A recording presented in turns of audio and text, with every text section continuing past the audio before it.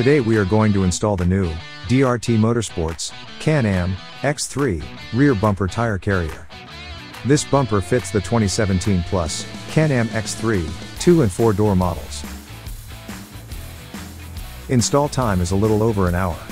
Can be installed by yourself. With a difficulty level of beginner. Tools needed for this job are a 3 8 ratchet, 10, 12, 13, 14, 16, 18 and 19 mm sockets and wrenches, a T20 Torx bit, a 4 mm Allen wrench, a pry tool or flathead screwdriver, and don't forget your safety glasses. So, gather the tools, and let's install.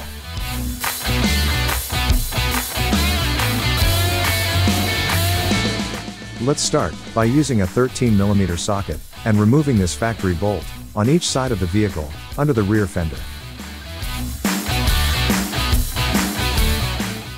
Next, grab the driver's side bumper mounting plate and set it up and in place, making sure that this stud runs all the way through the factory hole in the chassis, as you see here.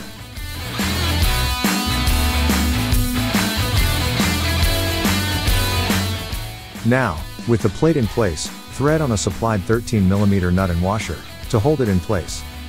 Then, grab the supplied 19mm long bolt and backing nut, and install it through the plate and factory hole location here, as shown. Thread on the backing nut, finger tight. Next, reinstall the long, factory 13mm bolt, you first took out, and tighten it down.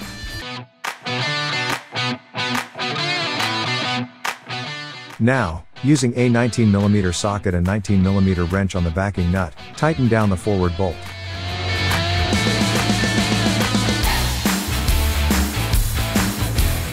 Next, using a 13mm socket, tighten down the lower mounting nut, shown here. Then, repeat these steps, to the other side of the vehicle.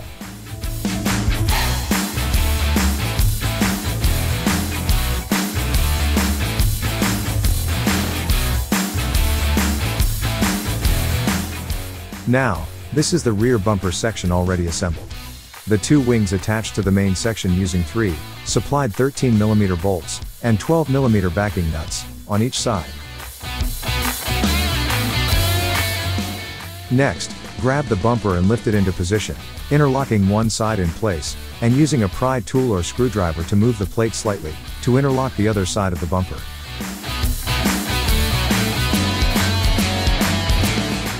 Now, thread in two supplied, 13mm bolts on each side, and tighten them down.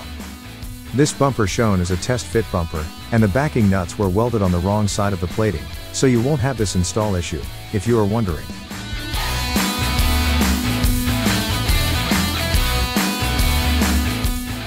Next, let's remove the plastic shrouds that cover the roll cage mounting bolts. Do this by removing the two T20 Torx bolts holding it in place, and remove the outer shroud.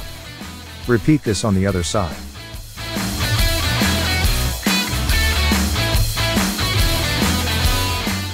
Now, we will be mounting the carrier hinge brackets, to these factory positions, on the roll cage mount.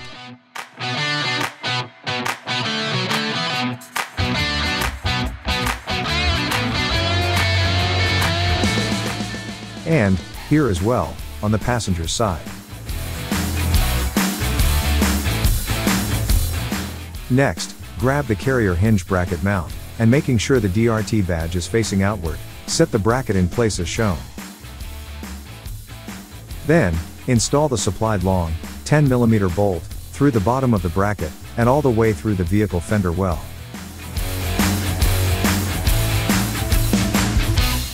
Now, grab the factory roll cage hardware, and reinstall them through the new bracket, finger tight.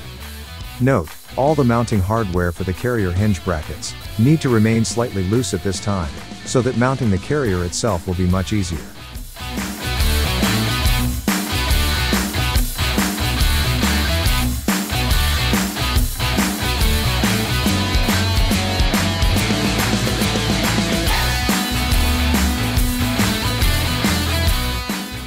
Thread on the factory backing nuts, finger tight, and repeat these steps to the other carrier hinge bracket.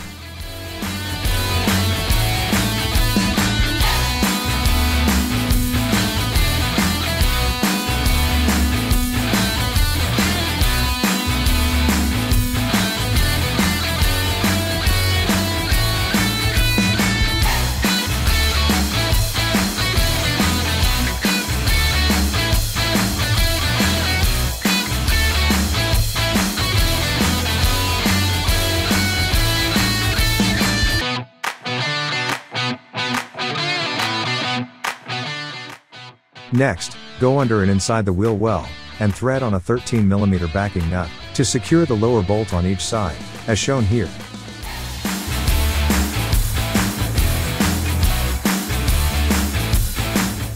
Next, grab the latch section of the carrier and install the two latch mechanisms. Grab each latch and insert it in place, as shown here. Then, thread in the supplied, 4mm Allen bolt hardware and tighten down.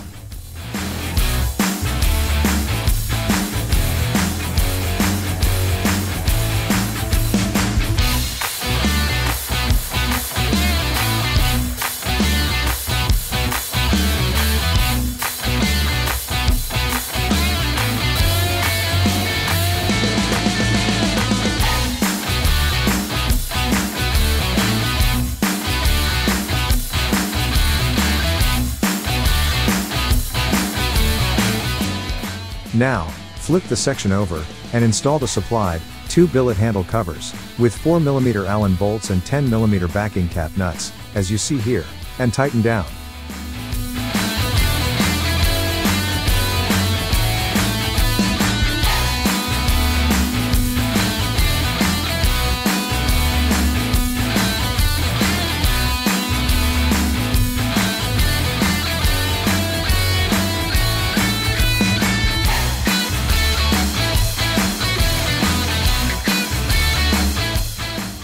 Next, grab the finished latch section of the carrier, and set it in place on the main section of the carrier framework, as you see here. Then, begin to install the 8 supplied, 4mm bolts, and 10mm backing nuts, to secure the latch section to the main section. The latch section, attaches to the main section with bolts, in these 8 places. The last one is on the back side, here in the middle.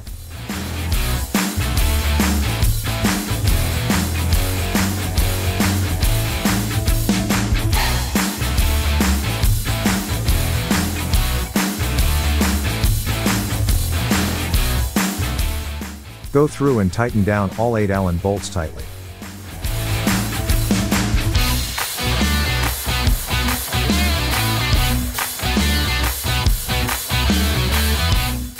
Now, grab the Heim joints, and set the jam nut back 7 16 of an inch, from the ball end of the threads. We found that is a good place to start, to make everything line up when installed. Your vehicle may need some other adjusting, once in place. Thread in both sides, making sure they are vertical when finished. Next, install the ball joint mount for the gas assist shocks, thread them in, and tighten with a 14mm wrench as shown.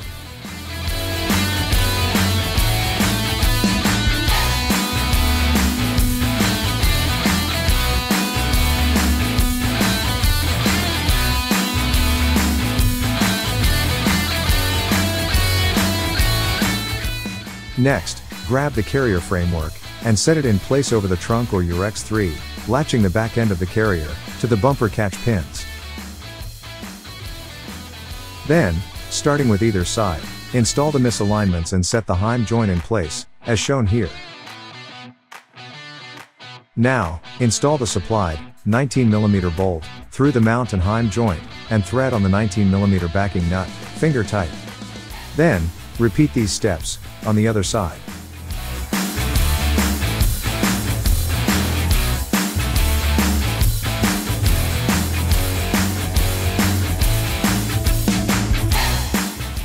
After each side is in place, tighten down the carrier hinge bolts. Then, tighten down the base 10mm long bolt on each side, as you see here. Now, Tighten down the roll cage mounting hardware on each side, using a 16mm socket, and an 18mm wrench on the backing nut. Then, reinstall the outside shrouds to finish it off. In these clips, the carrier framework hasn't been installed yet. We decided to install the carrier first before tightening the mounts down, as the process was easier without backtracking. The tighten down process is still the same either way.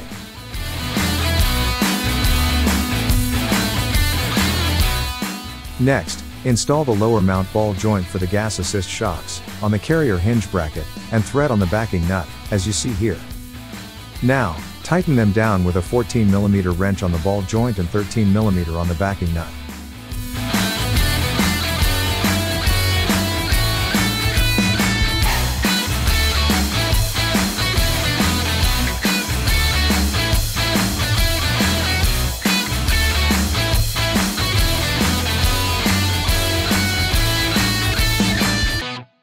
Next, let's install the gas assist shocks, with the body of the shock mounting at the bottom post.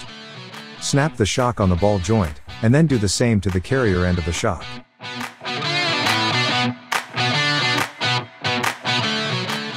Snap on the other side, and as you see here, we have already thrown a tire on top, to show you how the carrier, gas assist shocks, and latch all work perfectly to make one convenient system.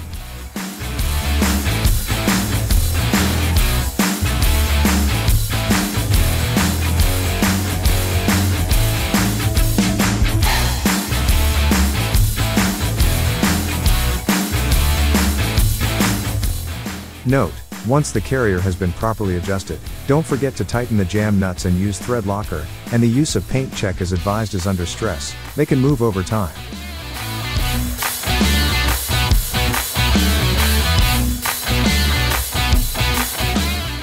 Congrats, that completes your DRT rear bumper, tire carrier system install.